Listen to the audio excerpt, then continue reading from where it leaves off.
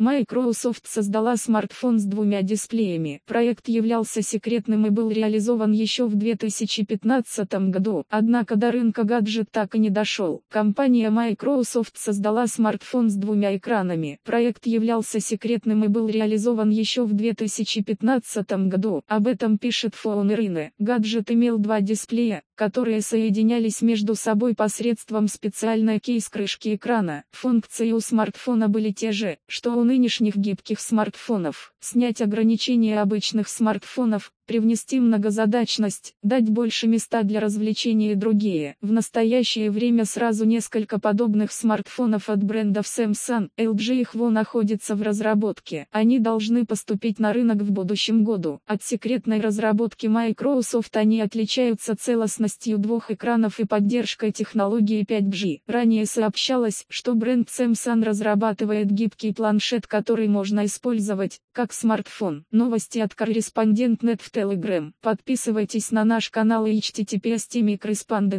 По материалам сайта Newsgro.com.